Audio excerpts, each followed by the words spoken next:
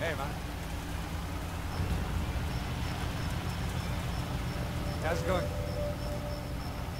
Stop there. You know the drill, no weapons.